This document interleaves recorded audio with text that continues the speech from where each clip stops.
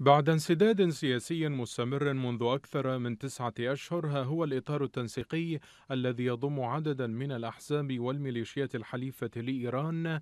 يعلن ترشيح وزير العمل السابق محمد الشيع السوداني رسميا لمنصب رئاسة الحكومة المقبلة بنسخته الثامنة منذ الغزو الأمريكي للبلاد عام 2003 إعلان الإطار التنسيقي جاء بعد ساعات من اعتذار القيادي في ميليشيا بدر ومستشار الأمن القومي الحالي قاسم العرجي عن عدم الترشح للمنصب.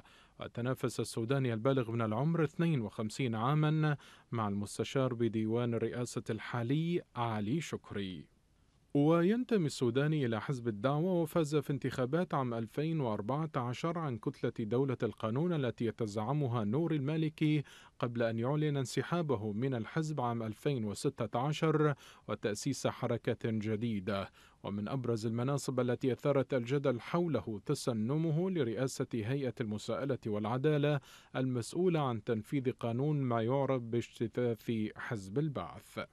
مراقبون رأوا أن ثمة مخاوف من اختيار شخصية داعمة لمواقف ميليشيا الحشد ومقربة من قيادات الميليشيات المسلحة في العراق وهو ما قد يمثل تكرارا لتجربة عادل عبد المهدي التي ينسب لها الكثير من المشكلات الحالية. ومن بينها تغلغل الميليشيات في مؤسسات الدولة ومحاولة إضعاف الجيش والشرطة على حساب تلك الميليشيات. وهو ذات التحفظ لدى الكتل السياسية الأخرى ومنها التيار الصدري الذي تحفظ سابقا على ترشيح السودان لرئاسة الحكومة عقب استقالة عبد المهدي عام 2019 وهو ما يجعل من المشهد السياسي في البلاد غير مكتمل من ناحية مخاوف تصعيد الصدريين ضد السوداني بوصفه قادما من مدرسة حزب الدعوة.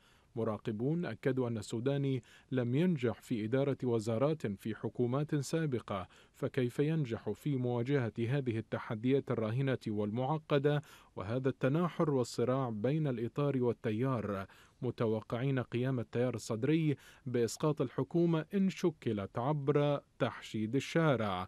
لتتواصل واحدة من أعقد الأزمات السياسية في العراق بعد عام 2003 عقب إجراء الانتخابات التشريعية في العاشر من تشرين الأول لعام 2021 والتي أفرزت نتائج غير تقليدية لتوزيع القوى السياسية داخل البرلمان كما أفرزت صراعا حزبيا وميليشياويا على السلطة والمناصب.